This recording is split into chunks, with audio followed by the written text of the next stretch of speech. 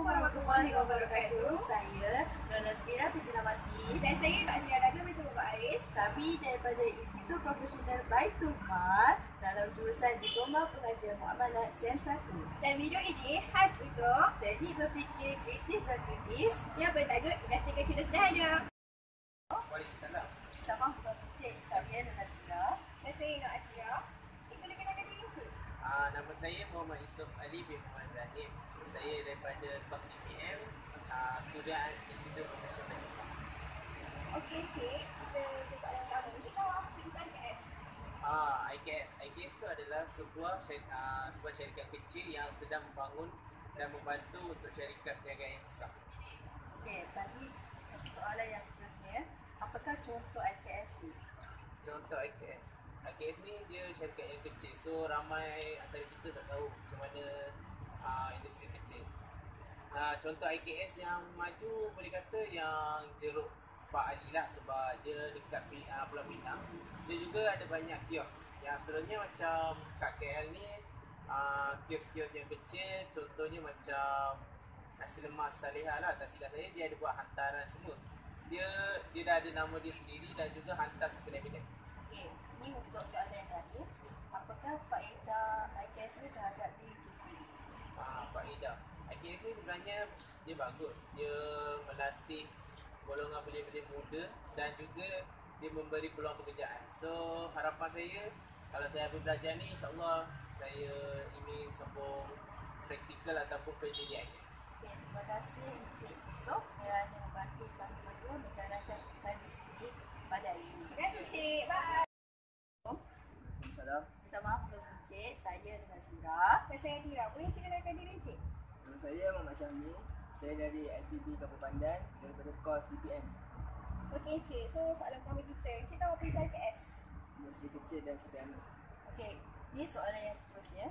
Apakah contoh IKS? Kedai yang mengeluarkan produk dia sendiri. Okey, ni soalan yang terakhir.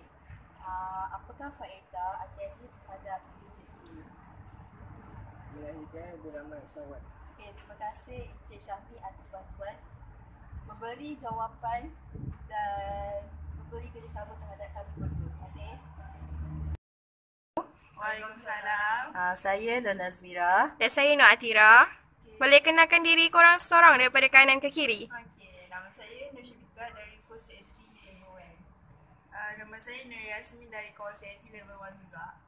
Nama saya Nur Syahira daripada kos uh, CAT level 1 juga.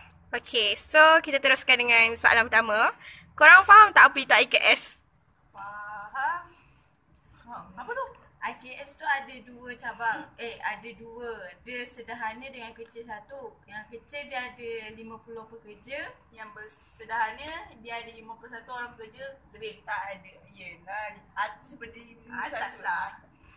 Okey, uh, sebagai soalan yang seterusnya, apakah contoh-contoh untuk IKS ni? Ha, ayam tu. Apa nama ayam tu? Ayam apa, ayam apa? Aku bobo. Oh, Uncle Bob. Saya benda tu tahu. apa lagi? Ah, apa tu jeruk Pak Ali? Ah, betul betul. Okey, soalan seterusnya Mira. Okey, soalan yang terakhir, apakah faedah IKS ni terhadap kamu bertiga? Faedah dia mengurangkan kadar pengangguran satu first. Uh, yang kedua, murah. Mhm. Murah. Oh. Sebab tempatan tempatan. Hmm, good. Lagi lagi? Lagi apa lagi? Uh, memberi peluang pekerjaan. Eh dah. Ah, senang nak jumpa. Ah, export. Ah, senang lah nak ada mana. Kita nak cakap je mesti ada. Okey, korang student? CAT. IPB. Ah, IPB okey. IPB nama penuh? Industri Profesional Baitul Mal. Okay, good. Okay, terima kasih guys. Okay,